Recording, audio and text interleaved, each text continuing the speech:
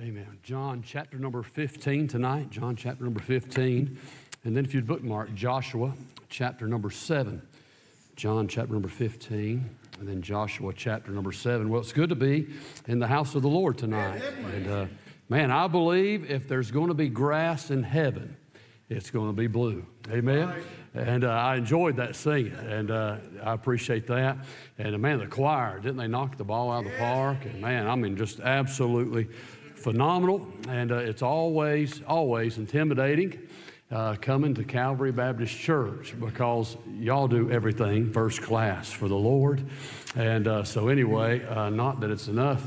Uh, to come and preach in front of your pastor, and uh, but then they get up here singing and introduce all them other pastors, and they've been pastoring. I'm like 30 years, 25 years. I'm like, my goodness, I ain't been pastoring but seven. Amen. I feel like a donkey. Amen that's wandered out on the track at the Kentucky Derby. Amen. I mean, like, what in the world, you know? And, uh, but anyway, uh, I woke up this morning and uh, I still didn't know. The Lord hadn't given me what He wanted me to preach. And I thought, well, Lord, it's getting pretty close.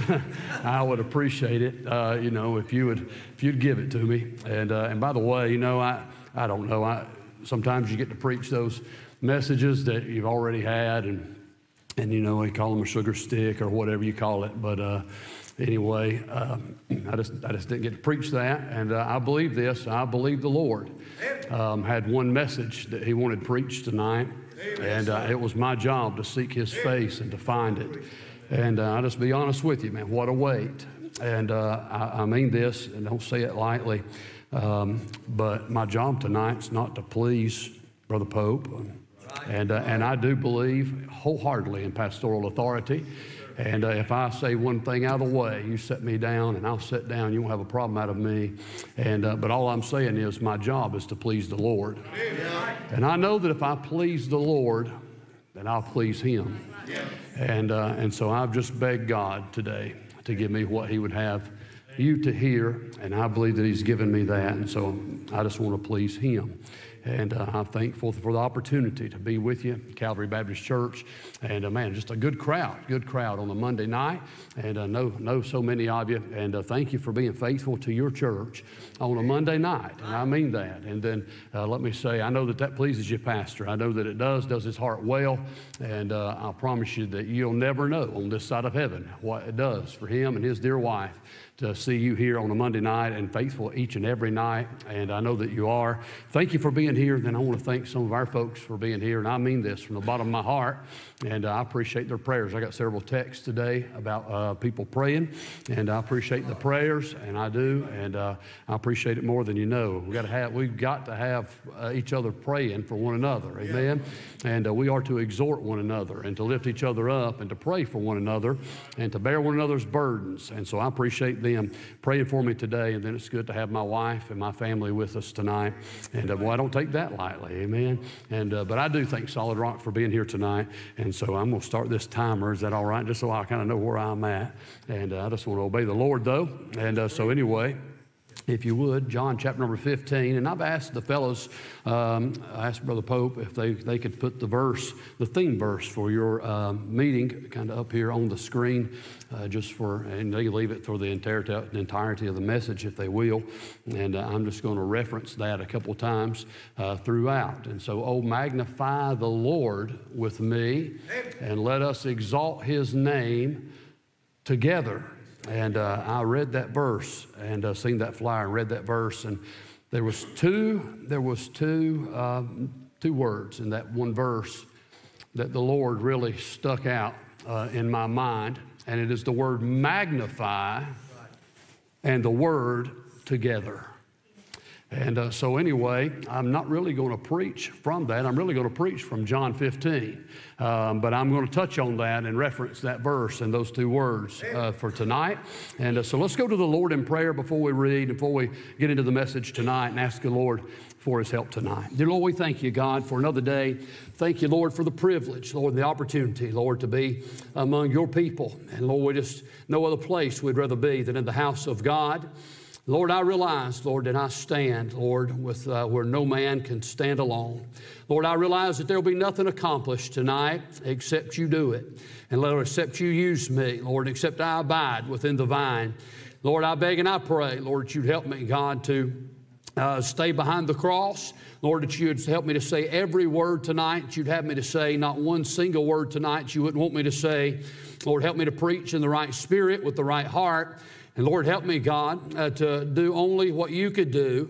And Lord, speak to people's hearts through me. Lord, I know that you don't need me, but God, I need you. I ask you, Lord, you'd help me tonight. Anoint me from on high.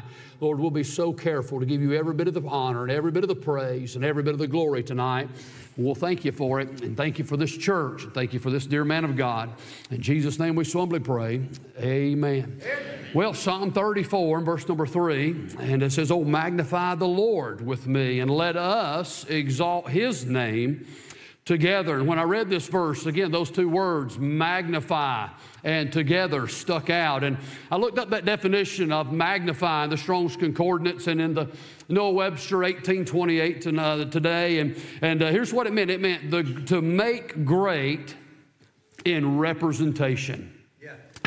and we are to make the Lord great. And uh, we're to make him great in our words, amen, and in, in thanksgiving and in song, and to worship him and to magnify him and, and to exalt him in, in the words that we say. But we're also to magnify him in the life that we live. Uh, we are to make him great. We are to represent him well, amen. The Bible says that we are ambassadors of the Lord Jesus Christ, we are his CEOs. We're his representatives of heaven. The only thing that people are going to see of the Lord Jesus Christ is what they see in mine and your life. Amen. Uh, the word magnify means to exalt, it means to elevate, it means to make great or to make greater.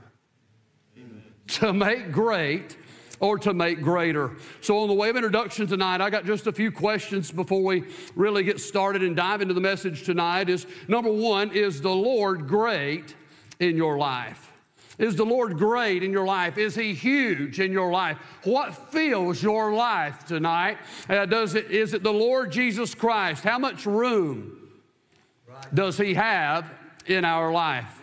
The second one is this the Bible, the, the, the Noah Webster 1828 said it means to great or greater. To magnify means great or greater. And, and if he is great in your life, let me ask you a question Do you want him to be greater in your life?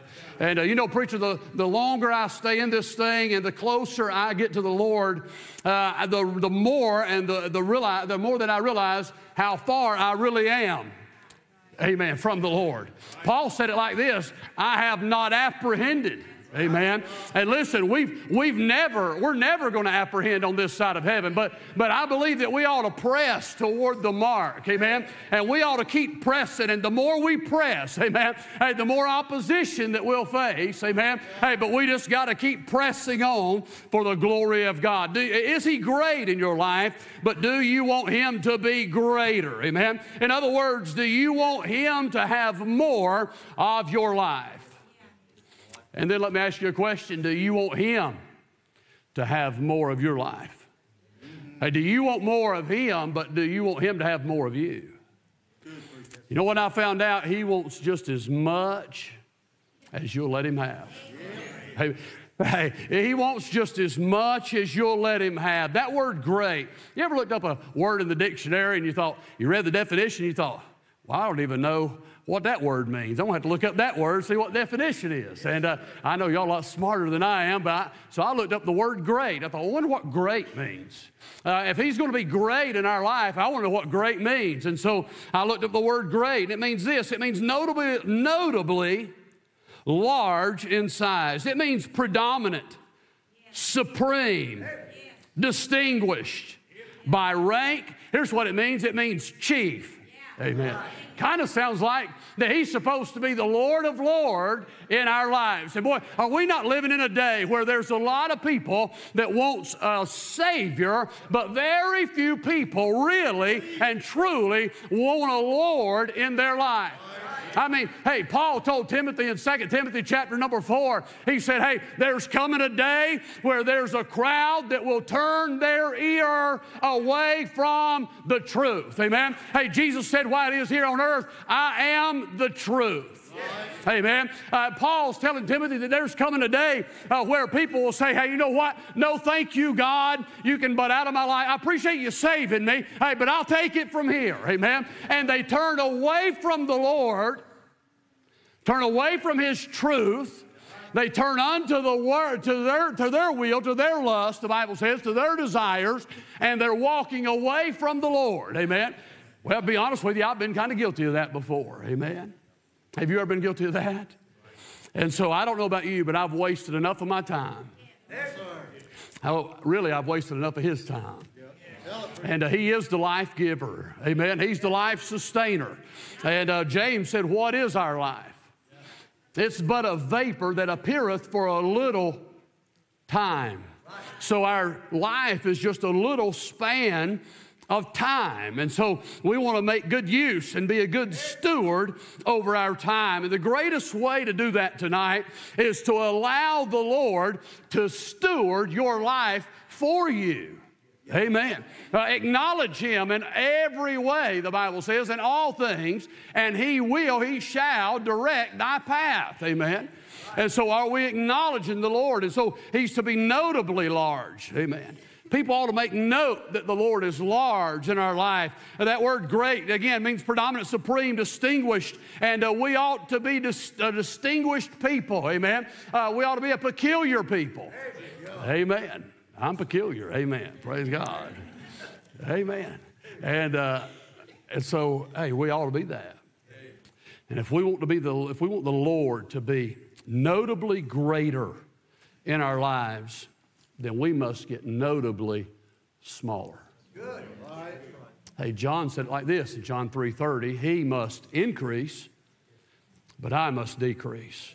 Increase, uh, it means advance in quality. Amen.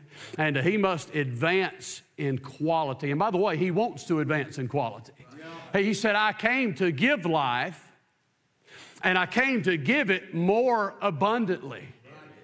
And there's a lot of people that have the promise of eternal life, but we're never entering into the abundant life. Amen? And the only way to enter into the abundant life is for us to get smaller and smaller, and Him to get greater and greater. Amen? And Him to be magnified in our life. Amen? Hey, I'm telling you, for 17 years, I thought law enforcement was what I wanted to do, and it was.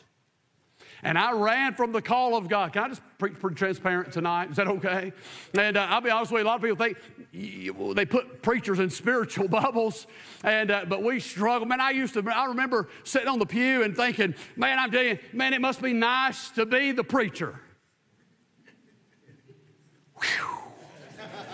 Amen. And uh, I remember, I remember ignorantly thinking that. And, and man, he, man, it must be nice not to have the battles and the struggles. And, but I'm just telling you, hey, there's more battles and there's more struggles. Hey, but I'm glad that greater is he that is in me than he that is in the world. But I'm just telling you, hey, I ran for a long time wanting to do what I wanted to do instead of what God wanted me to do. They sang about it. He'll let you do it. If that's what you want, hey, he'll let you do it. He is a gentleman, amen. He will not force his way in your life, amen. Hey, but I'm telling you, what you think you want for your life, if it's not what He wants for your life, I will assure you, no matter how much you think you want that for your life, it is not what you want for your life. Amen. Hey, the only way to have the abundant life tonight is to have His life. Amen. To have His joy. Amen. Amen. Look with me in John chapter number 15 just for a moment. Look with me in verse number 11, and, and, we'll back up and talk about a few other things. But verse number 11, Jesus is speaking, and he said, These things have I spoken unto you, that my joy might remain in you, and that your joy might be full. And I've been preaching a series on, on Wednesday night at the church of when His joy becomes our joy. And so the only way for his joy to become our joy is for us, for his joy to remain in us. Amen. To remain in us. And when his joy remains in us, then his joy can become my joy. And by the way, joy is not based upon feelings. Amen. Well, I tell you what, you want to mess your life up, just make decisions based on feelings. Amen. I'm just telling you, hey, feelings are up, feelings are down. You know, one thing that they taught us in law enforcement, one of the first things that they taught was uh, that that is like a seesaw. Emotions go up, judgment goes down. And so there's always a seesaw there. And, and when emotions go up, judgment always goes down. And the worst thing that I've seen people do since I've been pastoring is make decisions based upon their feelings. Make decisions based, well, I just don't feel, preacher, that that's quite right. Well, I'll be honest with you, and I say this with a compassionate heart tonight. It's not about how we feel because our feelings change. They're up and down, up and down, in and out. And, and I'll be honest with you, uh, but the Word of God never changes.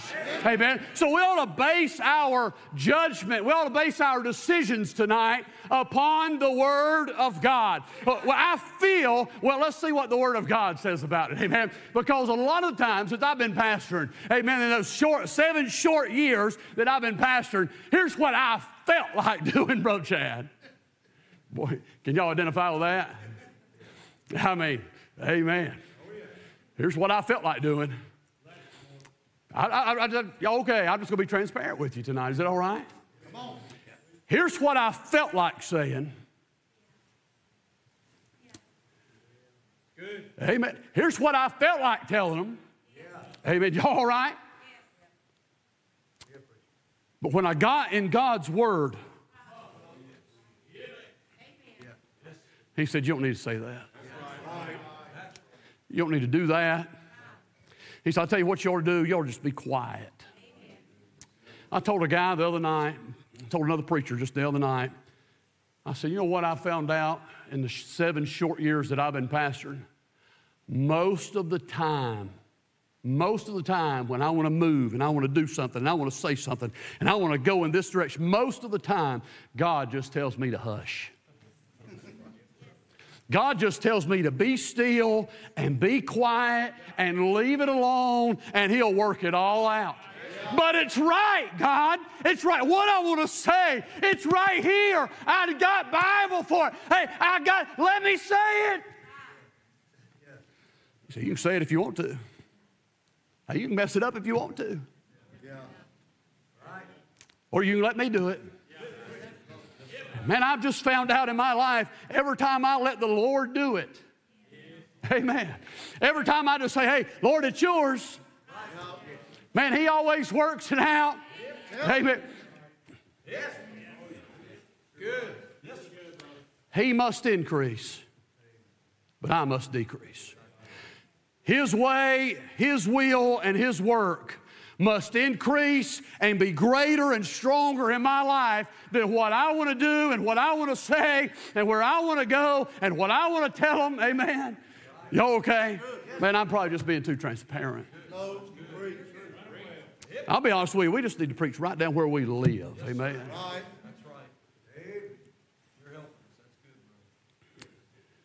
By the way, if we're going to magnify the Lord, this is mandatory, not suggestive. It's mandatory, not suggestive. Let's look in John chapter number 15 tonight. John chapter number 15. Jesus is speaking, and he said, I am the true vine, and my Father is the husbandman. Every branch in me that beareth not fruit, he taketh away, and Every branch that beareth fruit, he purgeth it. We know he's not talking about salvation, he's talking about bearing fruit. That it may bring forth more fruit. Verse number three, the Bible said, Now ye are clean through the word, abide in me, and I in you. As the branch, what'd be me and you, cannot bear fruit of itself except it abide in the vine. No more can ye, except ye abide in me. Now, there's two exceptions to bear fruit that we must abide in him, he must abide in us. Not really what I want to look at tonight, but I just wanted to make note of that. I circled each time the word abide is in this text and I counted nine times. In verse number four, abide, abide, abide. Verse number five, abide. Six, abide. Verse number seven, abide, abide. Number verse number ten, abide. Number ten, abide. And so there's nine different abides in here, and we know that in the book of Galatians there's nine different fruits of the Spirit, and I believe that's the fruit that he's talking about wanting us to bear. Amen. Uh, that fruit of like long suffering. Yeah. Amen. That fruit of love.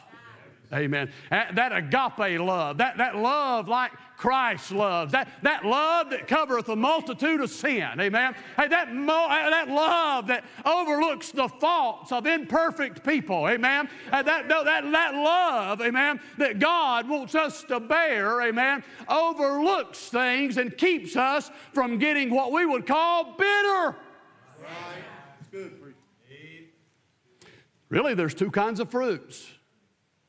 Bible speaks about there's a corruptible fruit and there's incorruptible fruit. I don't know about you, but I want to bear uh, I want to bear the right kind of fruit. And I want to bear this fruit that the Holy Spirit produces. And he said, Hey, the only way that you can do that is if you can stay connected and stay hooked up, amen, to the true vine. Amen. And, and so, it, it, listen, how many, how many of you could agree with you, agree with this? Hey, we came to church yesterday morning. Man, we had a great service at Solid Rock yesterday morning. We came back last night. Man, I'll be honest with you, it broke out. I didn't even get to preach. The big preacher showed up. And man, I'm just telling you, hey, hey, we were connected to the vine. And man, he was pouring out that joy in our soul. And if we're not real careful when we leave on Sunday night, That's right. You're right. That's good. We'll come unconnected. And then, preacher, we'll go out there and we'll listen to this and we'll listen to that and we'll watch this and we'll get in the break room around the guys and, and we'll get in work and, and we'll get around the things of the world. And, and man, I'm just telling you, we'll come back in here on Monday night and we'll try, oh, it'll take us all service long to get back connected. And right at the end of right at the end of the service, I mean, we'll just start getting just a little drop and just, there's just a little drop will come out. You think, man, what a great service.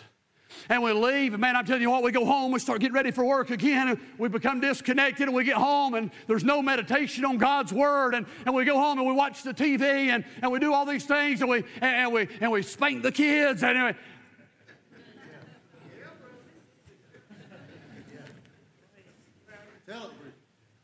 I mean, we set them down and discuss things.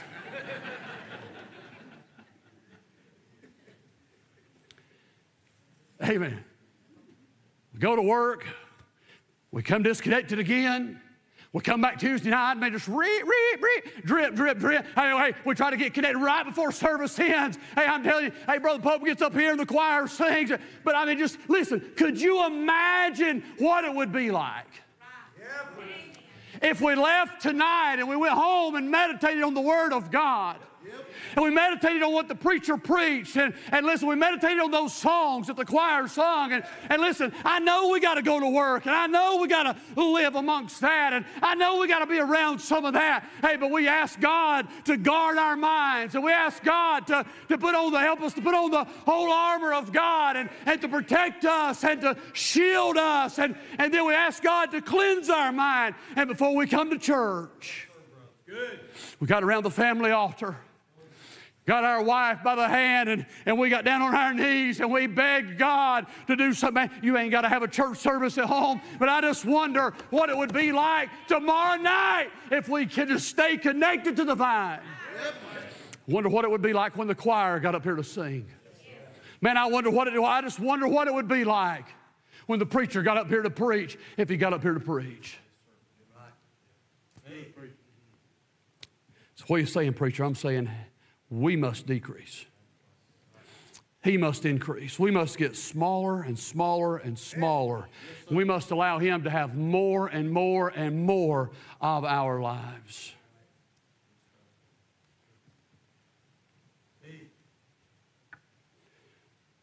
John chapter 15, he said, I am the true vine, my Father is the husbandman. Every branch in me that beareth not fruit, he taketh away, speaking of God. Every branch that beareth fruit, he, speaking of God, purgeth, purgeth it, that it may bring forth more fruit. He purges it so it'll bring forth more fruit. God the Father not only cared about the true vine, the Lord Jesus Christ, while he was here on earth. Let me say this He cares about the branches tonight. Amen. God cares about me and you. Amen. I can't explain that. The Bible said, He knoweth our frame, it is but dust. God cares about you. God loves you. Amen. He sent His only begotten Son to die for you.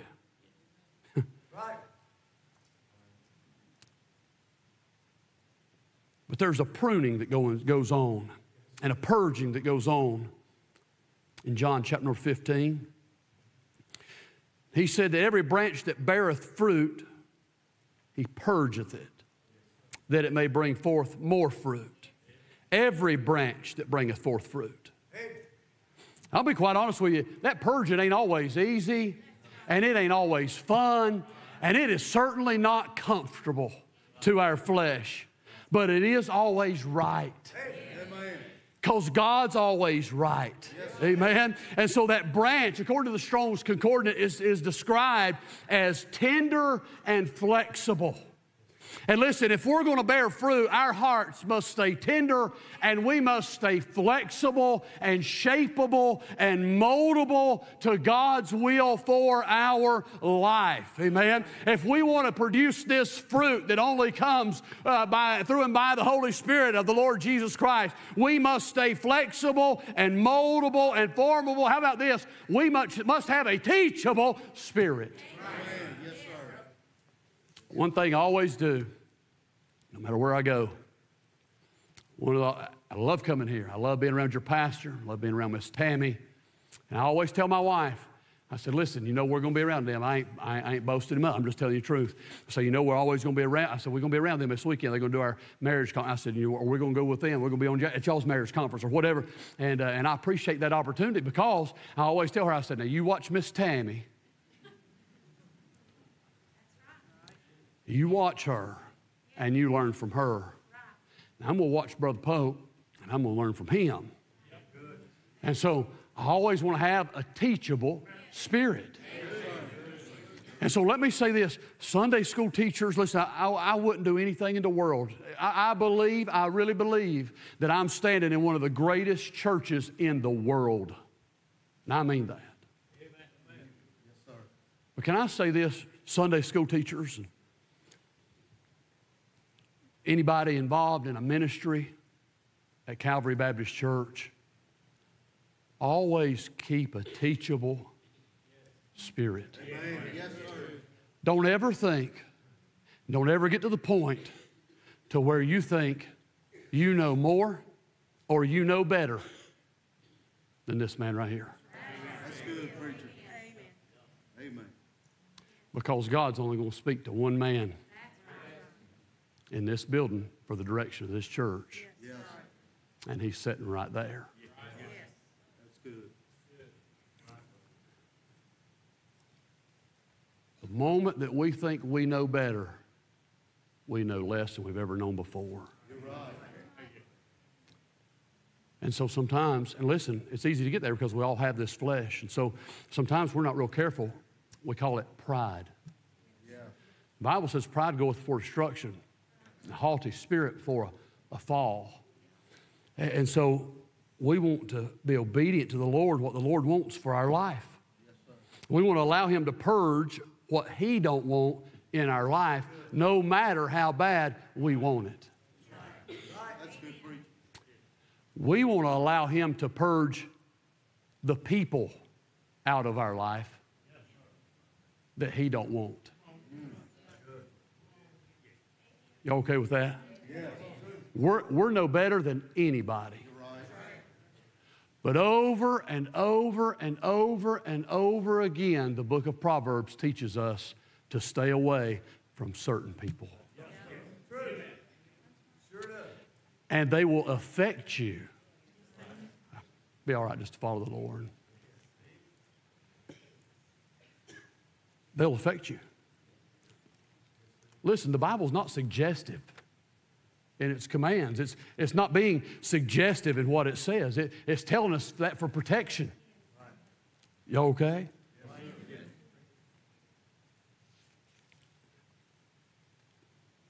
Proverbs 22, verse number 24 and 25. The Bible said, no, Make no friendship with an angry man,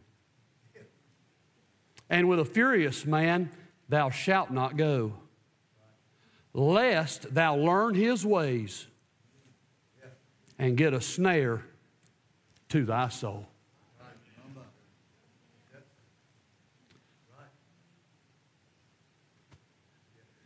I know where I'm standing tonight. I know where I'm at.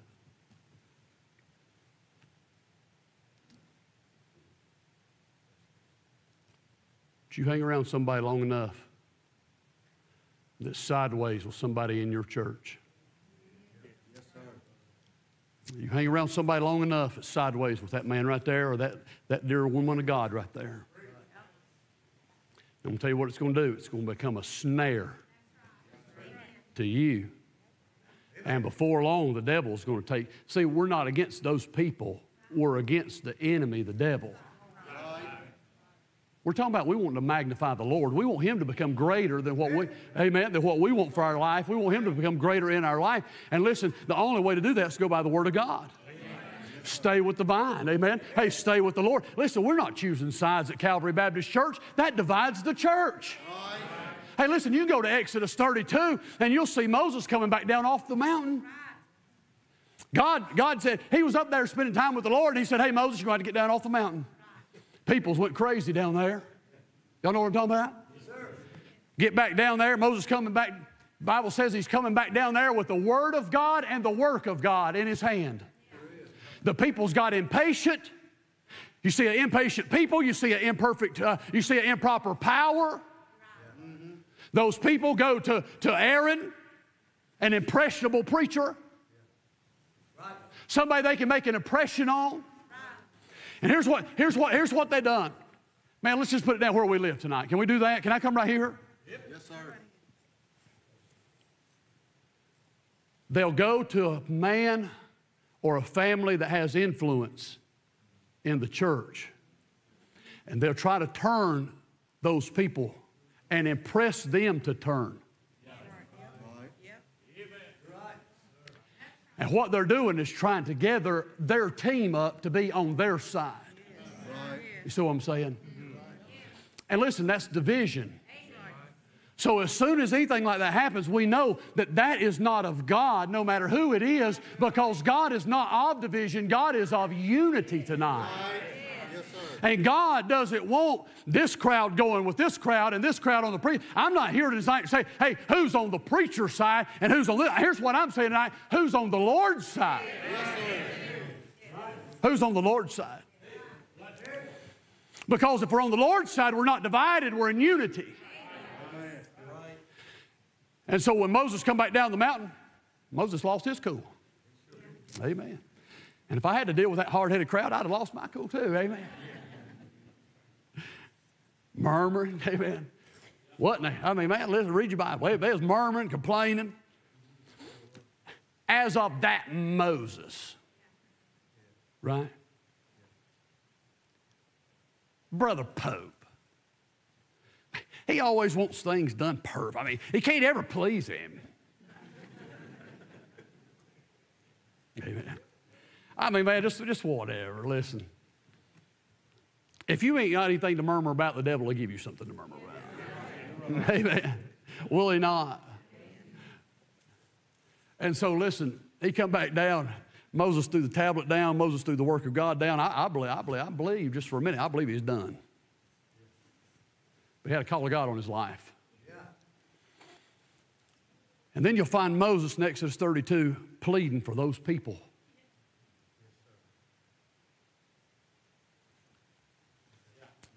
I don't care how you treat that man right there. I'll promise you this, Calvary. He's pleading for you. He's praying for you.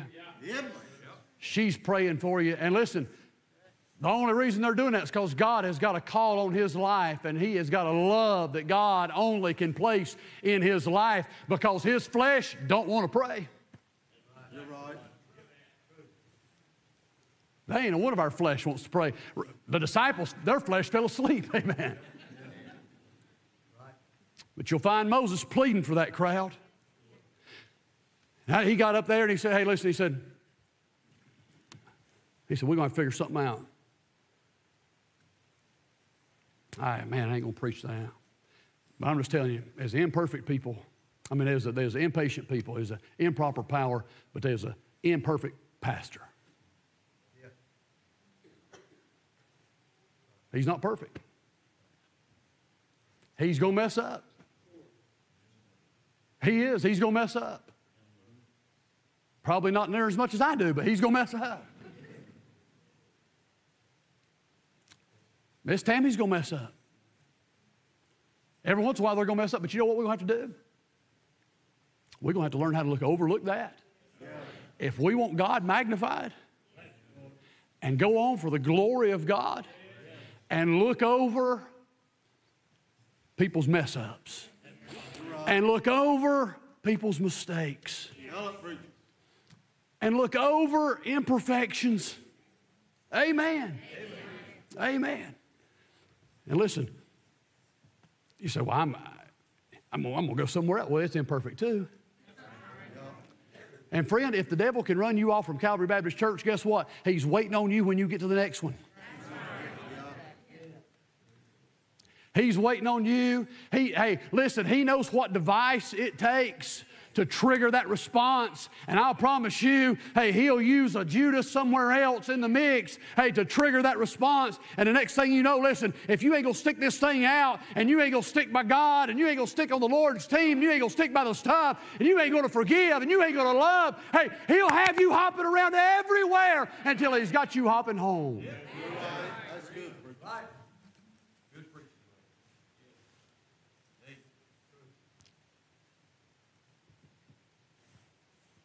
Moses said, Hey, here's what we're going to do.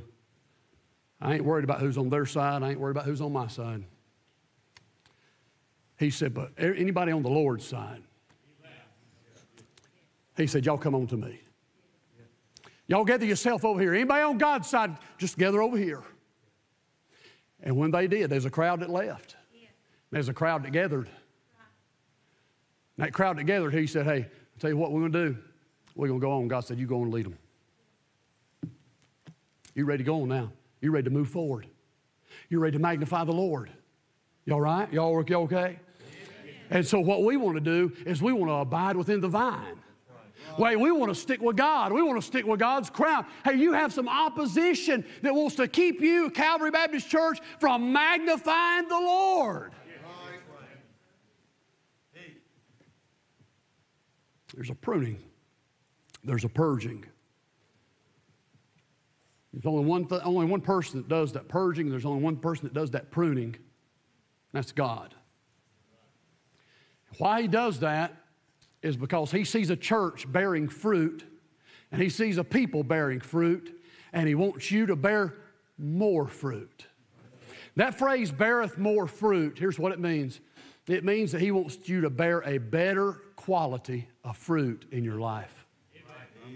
The reason that he does the purging is because he wants you to bear a better quality, listen to this, and a better quantity of fruit in your life. Why? Because he wants to be magnified. And it's our fruit that magnifies the Lord in our life. Amen. Why does God purge these branches? Because He wants you to bear uh, better fruit, because He cares for you, because He loves you, because He wants what's best for your life. Amen. And He knows what needs to leave your life, and He knows what needs to be put in your life. Amen. And only He knows that. Amen. Verse number two says that you may bring forth more fruit, greater fruit. Remember, what does magnify mean? It means great, it means greater. Amen. Hey, he, you say, well, I'm magnifying the Lord. Preacher, I'm magnifying the Lord. But God wants more of your life so you can magnify the Lord in a greater way. Amen.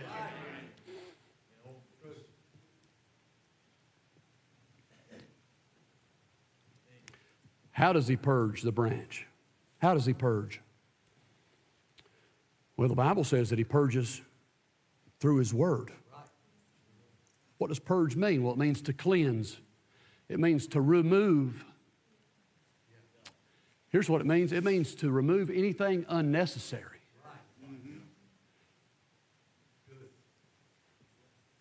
It means to clean to cleanse. It means to trim away any of the impurities. And so God looks at this branch and He says, Hey, you know what? That right there needs to go. That right there. That's good, preacher. I hate a weed. Man, you talking about OCD, preacher. I'm not sure you even know how OCD I am. Amen. when I get out of the car, I walk through the parking lot and I'm looking for any imperfections on my way to the church and on my way to the door. Amen. When I come up on the flower bed, I'm searching that flower bed for a weed or an imperfection. And listen, I'm like this right here. Or if we're running late, I'll tell my boy, hey, wait, get those weeds right there, would you? and you know what blows my mind? Is those things can come up overnight. Man, they've got to be of the devil. They'll grow anywhere. You can have a crack in your asphalt or your sidewalk that big, and there will a weed grow. Where's my son? We was over there at the church doing some work the other day. You can walk down the steps on the outside into our basement, and there's two brick walls on each side as you go down the steps. This is I took a picture of it. On the way down, Brother Pope, this high off of the step is a weed growing out of the side of the brick wall that's surrounded by concrete. My goodness. What'd you do? I pulled that thing. And so that's all God wants to do. He's looking. He's saying, hey, that right there needs to go. You know, if you'd let me trim that up a little bit, you could bear a little bit more fruit right there. That's good. Listen, not a sin, just something that's unnecessary in your life. And man, if you if you could just if you could just move this right here, I, if you just remove this right here, because there's, there's some more fruit that could grow right there too. And. Listen, there's just some things that I see that's listen, it don't look like you ought to look, a Christian ought to look. It- There's just some things that I see there in your life. Now, he ain't looking on the outside. The Bible said he looks on the inside. Now, I'll be honest with you, if we'd get the inside right, we would never have to worry about the outside. And so God looketh on the inward. And so he's looking on the inside, he said, man, that right there, that don't belong in your life. That just needs to be purged. Would you let me purge that? If you'll take that and remove that out of your life, uh, I'll tell you what I'll do. I'll replace it with some fruit. And that thing that you think it's giving you joy, that's really not giving you joy. I'll tell you what, it's really taking just a little bit too much of your time. And it's not necessarily wrong, it's just taking a little bit too much of your time. And, and I'll tell you what, if, if you would just trim that up a little bit, listen, you don't even have to remove it, but if you just trim that up a little bit and kind of get that thing in check. Where it don't have to, it don't, it don't have to be removed. You, you can hold on to that because there's nothing wrong with it. But, and listen, I ain't got to name things. God's naming them in your heart. That's God's job to name that thing in your heart. And so, listen, if you're spending a little too much time right there, listen, just let me trim it up a little bit where it don't hinder and choke out the fruit.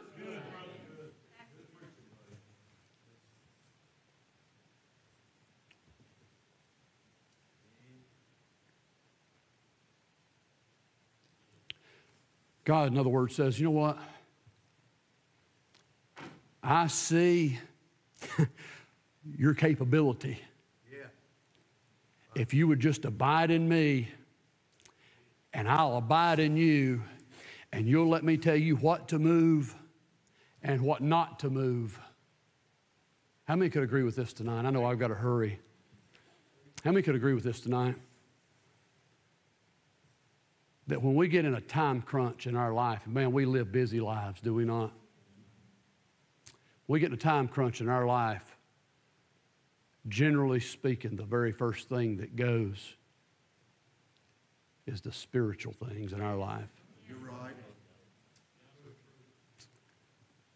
No, I don't have time to read my Bible today. I got to go visit. Nothing wrong with visiting, but it shouldn't take place of our Bible. Listen, I, I got to get to this. I got kids, and I got this, and I've got that, and I've got to hurry, and I've got to do all this. But you know what? I, I, I'll read it tonight when I get home. And then when you get home, whew, well, I know it's. I'll tell you what I'm going to do. I'm going to get up in the morning. and I'm going to read it. And you see, this is this is the pruner. Yeah. This is what God uses to prune and to trim and to, to cut away. Bible says it's sharp as a two-edged sword, piercing, amen, on the inside. And so this is what he uses. He uses the word of God. He don't use it, well, I just don't feel like it. He don't use our feelings to prune. He uses the word of God to prune our life. And the reason that he does it is because he cares about you and he loves you. And listen, he wants to sanctify you, he wants to set you apart for a greater service. I remember telling my pastor, I remember thinking this many, many times man, I want to be used. Man, I want to be used. I want to be used. I want to be used. I want to be used more. I want to be used more. I want to be used more. But God was needing to set me aside to be used. He, that's what the word sanctify means, to be set apart. You're set apart from the world, you're set apart to Him, and you're set apart for His glory. And so he wants to, that, that there's a present and a past and a future sanctification. And when the moment that we're saved, he sets us apart and places us in Christ. We're sanctified forever and for eternity, uh, positionally in Christ. And then he wants to continually, presently sanctify us, calling us closer and closer to him and further and further away from the world. In other words, He wants all of our desires and all of our wants and all of our lusts to decrease, decrease, decrease, and He wants all of His fruit to increase, increase, and increase. So Ephesians 5:26 says that He might sanctify and cleanse it with the washing of water by the Word. And so here's the pruner tonight. This is, this is the pruning shears tonight. Well, you say, how does it prune, preacher? Here's how it prunes. We hear it, we receive it, we allow it to go down into our heart, we trust it, and we obey it. Listen, I'm just talking about me. I'm just talking about what I've been guilty of in my life. God said, You know what? Nothing wrong with that, but you need to trim that up a little bit. I really want you to grow better fruit and a greater quantity of fruit, and I want you to magnify me more than you ever have in your life. And for a lot, a lot of years, I said, Nope. I'm good bearing the fruit that I'm bearing. I'm good magnifying you, Lord, just as much as I'm magnifying you. I don't want to magnify you any greater. Really, this is what we're saying. I don't want to magnify you any more than I'm already magnifying you. I said, okay. I've told you. You've heard it. It's up to you. Took me a little longer than most. Brother Pope, there was a time that he come by, and I remember surrendering my life at the altar at Northwood Baptist Church. I give him my schedule, and I said, Lord, here's my schedule, here's my calendar, here's my life. Whatever you want out, I want out. And whatever you want in, I want in. I'll just be honest with you. it don't hurt near as bad as you think it will. Right. Matter of fact, it don't hurt at all. Right. The very thing I was holding on to was what was killing me. And it was destroying me. And I didn't even realize it until I said, you know what, enough's enough. God, here's my life. Whatever you want to cut away, you cut away. Listen, Lord, whatever you want to replace it with, you replace it with. Whatever direction you want me to go, I'll go. If you want my badge, I'll give you my badge. If you want, if you whatever you want, you want my salary, I'll give you my salary. For the very first time in my life, I quit turning from God. Started turning to God. You know what amazes me, Brother Pope? All them years, all them years wasted, saved, born again, blood washed, and on my way to heaven. All those years I wasted. The moment I turned around, he is still right there. He still loved me. He still wanted me. He still trimmed me up. He still reused me. If he'd used somebody like me, I'll promise you, he'd use somebody like you. You say, Preacher, you don't know what I've done. You don't know what I've done. I'll promise you, can ask the musi- musicians ease up this way and just start playing? It'll be, will be okay, Preacher? Tell you what God wants you to do tonight. God wants you to bear more fruit. God wants you to bear better fruit. So Calvary Baptist Church can go on in a greater way than it's ever went before. Hey, let's all stand to our feet tonight. I wonder if there's anybody here that could identify. Just saying, telling the Lord no. Lord, I'm magnifying you enough. I'm pleased with my life. I'm, I'm pleased with the, things, the way things are going. And I just wonder tonight if the Lord put his finger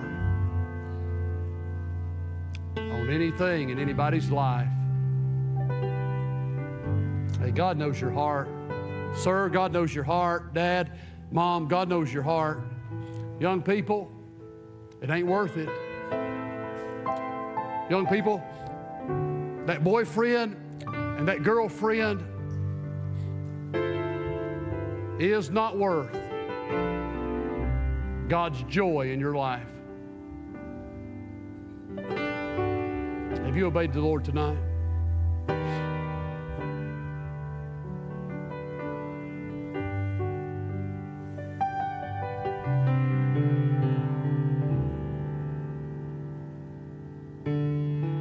Obeyed the Lord tonight? I'm not being boastful about what I'm saying, I'm just telling you the truth. I give up a full time salary, a 401k, retirement. This year I'd be 23 years in. I could have retired at like 51 years old. I'm 43. God's retirement plan is much better than this world's retirement plan. So what are you saying, preacher? I'm just saying it don't matter what you give up if that's what God wants you to give up. Losing his joy, losing his fruit ain't worth it. You obey the Lord tonight. If you're here tonight, you're not saved or you're not sure about your salvation. And the Lord spoke to your heart. Boy, it would be a wonderful night, a wonderful night to get that settled and get that right.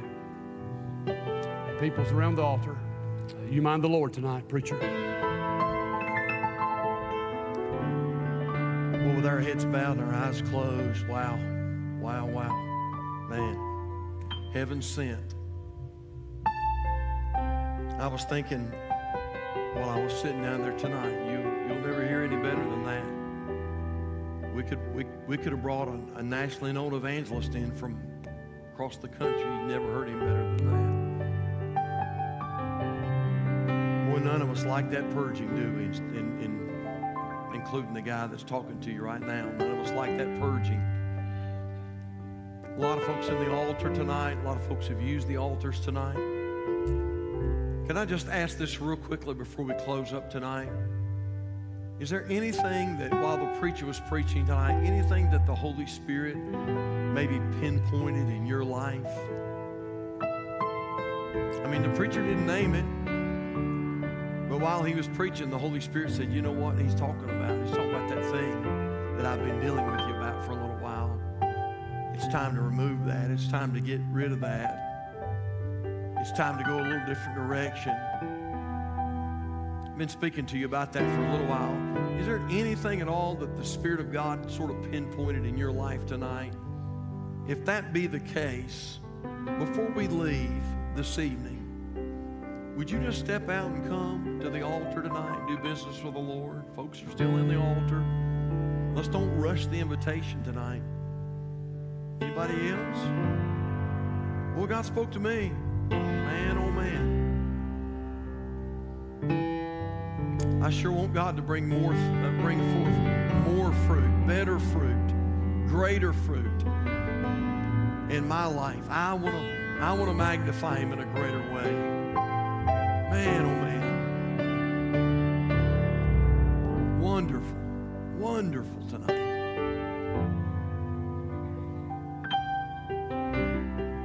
So, Lord, we thank you for your blessings. Thank you for allowing us to hear from heaven tonight.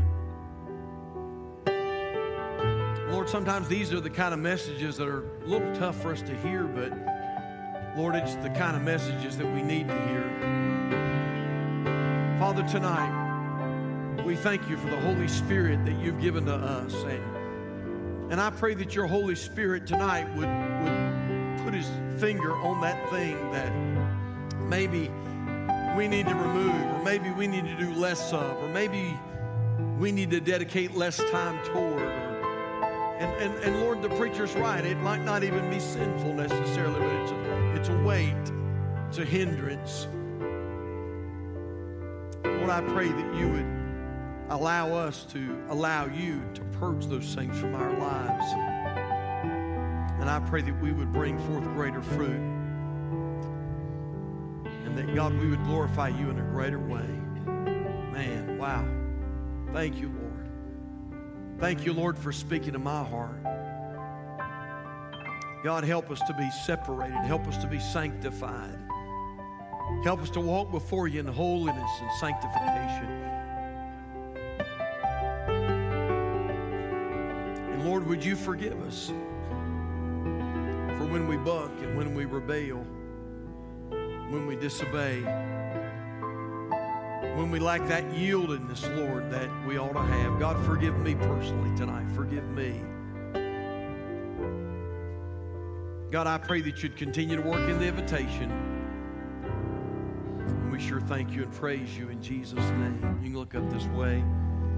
If you're watching live stream tonight, we're delighted to have you tuning in. There's a number on the bottom of your screen right now 704 327 5662. If we can pray with you, if we could um, share Christ with you, we'd love to do that right now. We have some folks waiting to receive your call. If you'll call that number, we'd love to talk with you right now. We're going to sing this little chorus tonight, church, that simply says, Amazing Grace. How sweet the sound that saved a wretch like me. If you need to come, the altars are open. There'll be somebody up here with a Bible. They'll they'll meet you and greet you. Especially if you're here tonight and you need to be saved. Could be. Uh, this happens all the time. Folks come in and I don't recognize. I don't even recognize they were visiting with us until the end of the service. That's happened. I don't know how many times that's happened at the conclusion of the service while we're shaking hands. Folks will come through and I'll think, man, I didn't even know you were here. I'm so sorry. And so you may be here tonight and, uh, and don't know Christ as Savior. If that's the case, if you'll just go to one of these aisles and come down here, we would love to take a Bible and show you how you can know for sure that you're on your way to heaven. And I hope you'll do that tonight. And we're going to sing this through a couple times. And if you need to come, altars are open. You come tonight while we wait. All right, Calvary? Let's sing it together tonight and rejoice about this amazing grace tonight. Sing it with me. Ready?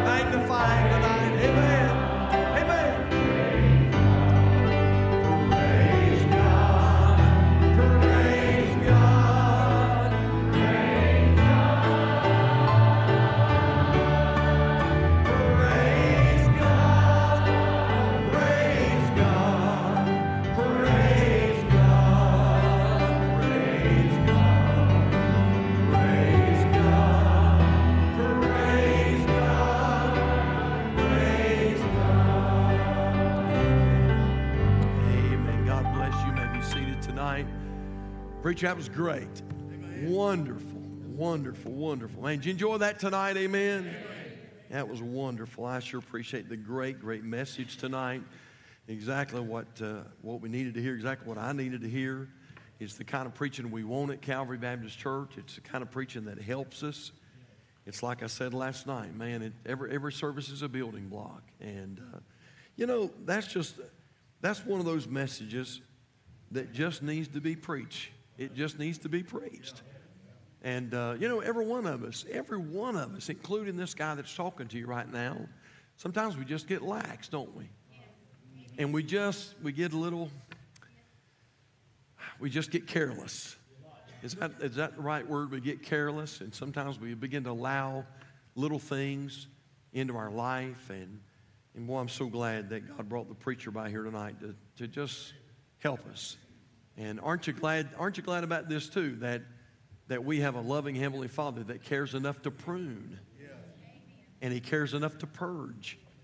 Um, sometimes people, uh, you know, sometimes people will shy away from Calvary because they're afraid if they come here, they'll get, you know, they'll get some preaching that sometimes, you know, there's conviction.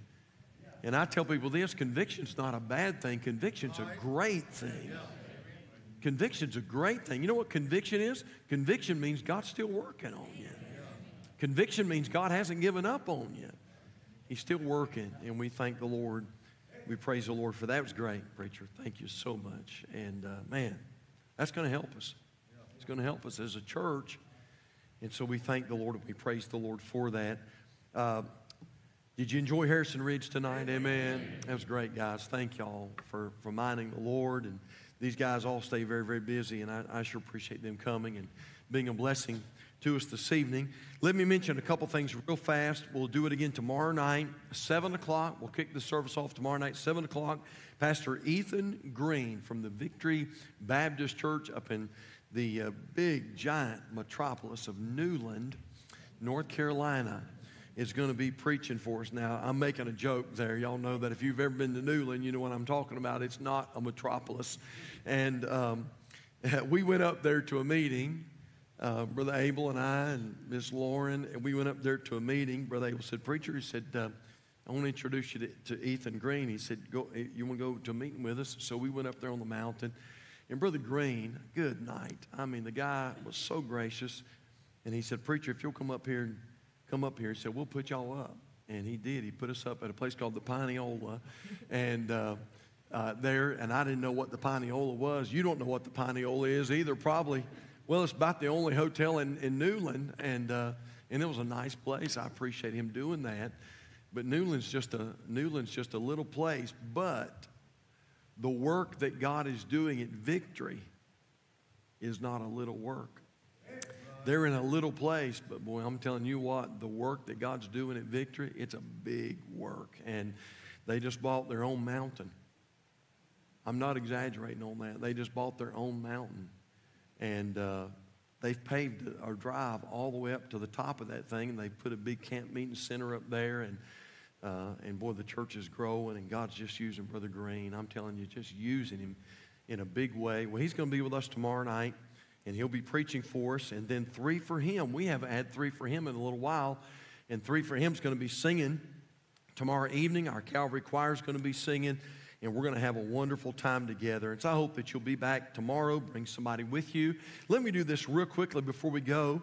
Um, is anybody anybody here tonight and you brought a visitor tonight? We're giving away we're giving away a beautiful Bible this week. I'm telling you, this is gorgeous. Good night, and uh, we're going to give this Bible away on Wednesday night. And so, if you um, for the person who brings the most visitors, and so did anybody bring a visitor tonight? And if you did, just slip your hand up so I can get your total tonight. All right, Adeline, you bring somebody tonight? All right, good. We're going to add to your total this evening. You're on a roll. Good, good deal. Anybody else? Any? Brother Tommy, I'm gonna tell you, if you've seen this, you'd want it. I'll promise you that. It's a nice one. It's a nice one. And uh, anybody else? Any other visitors tonight? Did I miss anybody? All right, Adeline, you're on a roll tonight, so hang in there, stay with it. So here's the thing: we got two more nights. We got Tuesday and Wednesday. And so, uh, hey, be signing some folks up and inviting folks to come. And uh, we're going to give this beautiful, beautiful Bible away this coming, this coming Wednesday night. So I hope that you'll, uh, you'll get involved in that. Well, I'm going to ask the preacher and his dear wife, I'm going to ask them if they'll go to the back out here in the atrium and, um, and just, I don't know how long they can hang around, but, it, but if they can hang around for a few minutes, just go by and shake their hands and let them know how much you, how much you appreciate them being here tonight. And then find Harrison Ridge. And Brother Ronnie didn't say anything tonight about the, uh, about the CDs, the music CDs, but they've got a, a table out back. And uh, I want to encourage you, go by there and check the table out and add some good music um, to your library. And, uh, and boy, they, they sang some great ones tonight. So go by there. They'll be out there at the table. Go by there and shake their hands and let them know how much you appreciate them being here tonight and we're glad to have you. Are you glad you came tonight? Amen.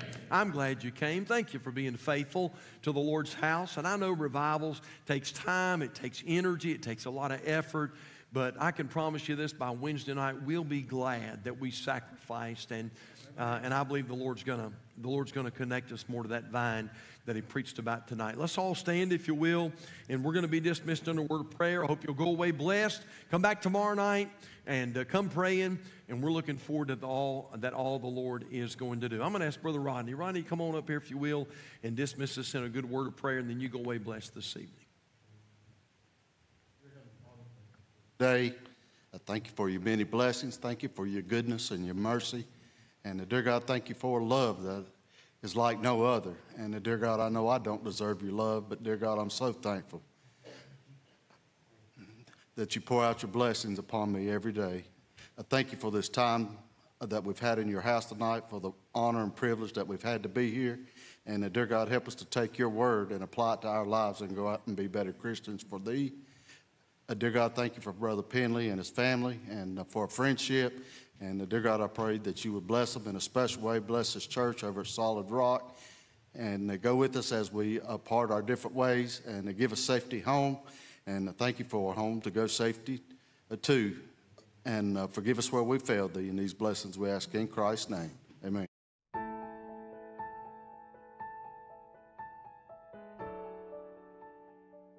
Thank you for joining us today. We consider it an honor to serve you. And our prayer is that the service was a blessing and an encouragement to your life. If you were impacted today by the preaching of God's Word, we encourage you to respond. If we can pray with you, or if you would like to make a decision today for Christ, please call us here at 704 327 5662. We have people waiting right now on the lines prepared to help you. Again, thank you for joining us today, and we hope to welcome you again soon. Have a wonderful week.